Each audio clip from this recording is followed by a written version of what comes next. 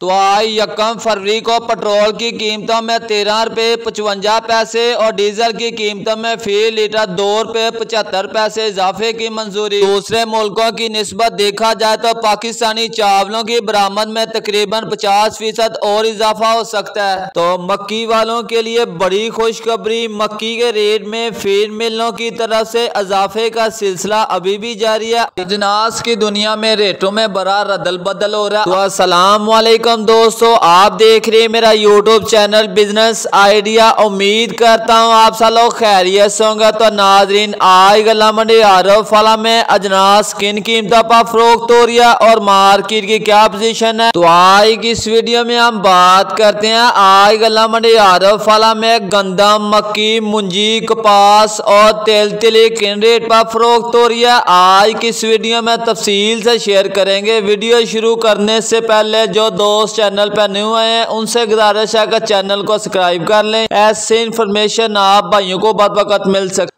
तो देखा जाए पाकिस्तानी चावलों की बरामद दूसरे मुल्कों में, इस दफ़ा रिकॉर्ड इजाफे का इम्कान है। माहरीन की तो ज़ाहिर किया कि पिछले साल की नस्बत इस साल पाकिस्तानी चावलों में तकरीबन पचास फ़ीसद और इजाफा हो सकता है। और अब पाकिस्तानी चावलों की बरामद में इजाफा और भारत की तरफ़ से चावलों की बरामद में कमी का स्वाबा याद रहे कि दुनिया भर में भारत चावलों की बरामद में सबसे बड़ा मुल्क माना जाता है। और अब मोदी हुकूमत ने बरामद में कमी कर दिया यही वजह के दूसरे मुल्कों समेत दुनिया के मुतलिम ममालकों ने चावल की बरामद के लिए पाकिस्तान के अलावा दीगर ममालक की तरफ़ तवज्जो दिया है। माहरीन के कहना है पाकिस्तानी चावलों भारत चावलों के मुकाबले ज़्यादा महँगा है और रवान साल की नस्बत देखा जाता है इस साल पाकिस्तानी चावलों की बरामद में पचास लाख टन मेट टन इजाफा हो गया और जिससे आने वाले दिनों में मुंजी मार के किसी वक्त भी छिक्का लग सकता है। तो अब बात करते हैं मुंजी का हवाले से। बात करते आज गला मंडी